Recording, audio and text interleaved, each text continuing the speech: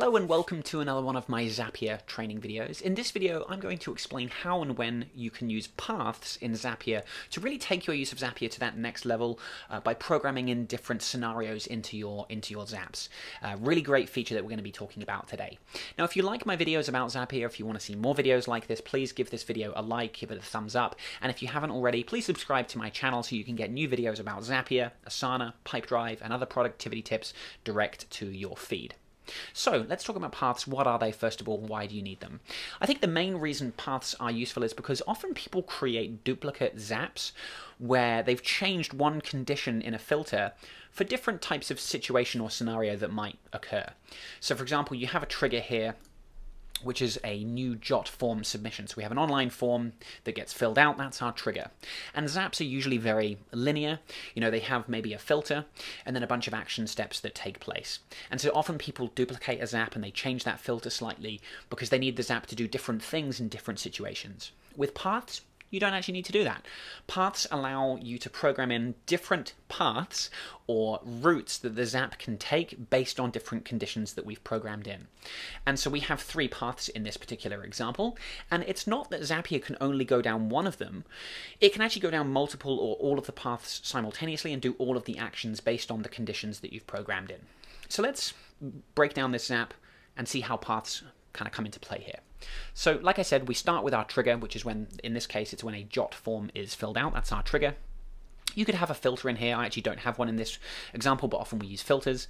And then I've got like an, a search step here. So this isn't really an action. Nothing's really happening here, but for this particular Zap, we are searching for a project in Asana. Once that project has been found, we come to a three-way path, three different routes we can go down. And if I click on one of the paths, let's click on social first of all. Uh, this is the name of the path. It doesn't really, it's just what is the path called. It's, it's not really particularly important.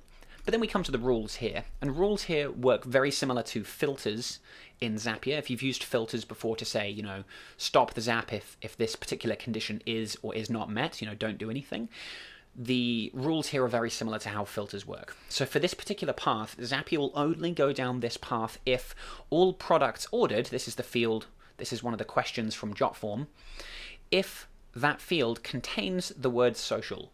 So if that field contains the word social, Zapier will go down this path and it will run all of the action steps in this path. So we just have one step in this one, which is it's creating a task in Asana for this particular social path. This, uh, I can switch paths up here, I can go to the creative one. This is doing something very similar. Again, simple rule, if the products ordered contains the word creative, do this. And with the third one, you can see it's slightly different.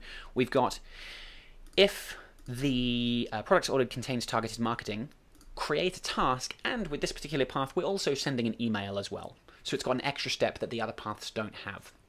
And like I said, that Jotform, if all three of those boxes are ticked, the Zap can actually go down all three paths at once and do all every single set of actions. And so previously, without paths, if you are on one of the lower tier plans, um, you will need to set up multiple zaps to make this particular to do these different things.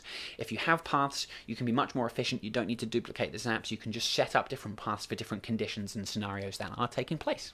Now, Paths is only available on the Zapier Professional plan or higher, so you will need to be on the uh, yeah the Professional plan at least in order to use this feature. But it is a really powerful way of using Zapier, like I said, and just going to help you to get to that next level with the automations that you're building. If you have any questions about Zapier or using Paths, leave me a comment below.